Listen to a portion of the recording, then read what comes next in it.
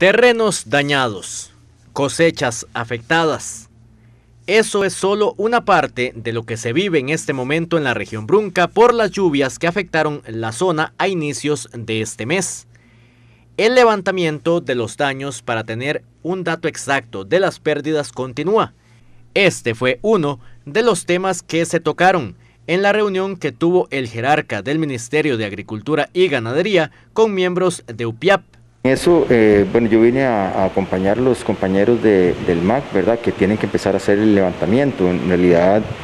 una de las grandes dificultades que tenemos es de la reducción de personal que hemos sufrido y, la, imposibilidad material que hemos tenido hasta el momento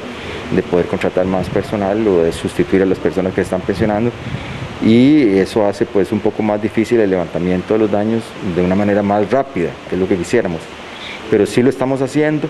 De hecho, yo mañana a las 9 de la mañana me reúno con los extensionistas, algunos con algunos físicamente y con los otros eh, vía virtual para poder ir ya este, dándole forma a este levantamiento que estamos haciendo en la zona y en las zonas más afectadas, que fue las que yo visité la semana pasada, donde necesitamos tener entonces el mapeo de las afectaciones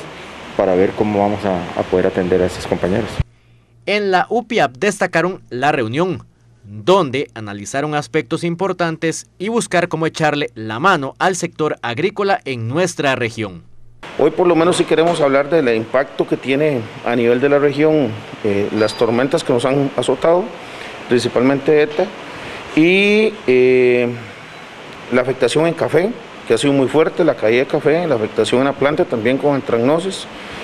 porque también tenemos entre manos el cobro del fideicomiso rollo. Entonces, sí, incluso como, como delegados al Congreso Cafetalero de Pérez Salón se presentó una moción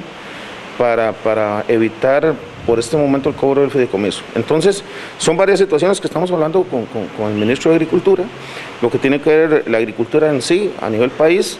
y a nivel de región, tanto granos básicos, que tuvo una afectación también muy fuerte, que se están en evaluación, Johan, también, que ese tema que es importante, el levantamiento de información, y eh, por supuesto que nos ocupa también otro tema para UPIAD importantísimo, lo que es banca de desarrollo, en el cual venimos en un trabajo acelerado con, con con el, eh, comité rector de banca y los funcionarios del sistema para poder ser operadores de banca. La semana anterior, el ministro de Agricultura y Ganadería estuvo de visita en Buenos Aires y Cotobruz. En especial, este último sufrió serios daños en la parte agrícola. San Vito de Cotobruz está bastante afectado, hay gente con serios problemas, perdieron sus casas, eh, perdieron sus propiedades porque el río pasó por encima y barrió completamente la propiedad y algunas quedaron llenas de piedras que va a ser imposible utilizarlas en realidad, ¿verdad? Porque quedaron con una capa de piedra por encima, habría que remover. En los recorridos se pueden apreciar daños importantes en fincas que quedaron casi inhabilitadas para cosechas. Habían, la mayoría son fincas de café y algunas tienen ganadería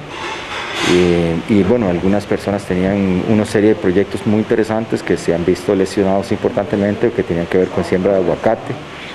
Y este, pues vamos a ver cómo podemos eh, ayudar, ¿verdad? Porque en realidad pues, tampoco el Estado tiene mucho recurso como para, para resolver muchas cosas, pero sí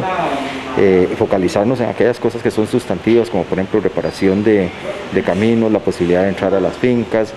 de que puedan este, tener los cogedores de café, que puedan sacar la cosecha y aquellos lugares donde estemos más eh, afectados con el terreno, pues de ver si existe la posibilidad de que, que, podamos hacer alguna cosa con ya eso será después porque eso tendrá que ser un proceso mucho más complejo que tendrá que ver con el INDER, la posibilidad de si podemos. Alvarado continuará con su presencia en Pérez Celedón durante este viernes.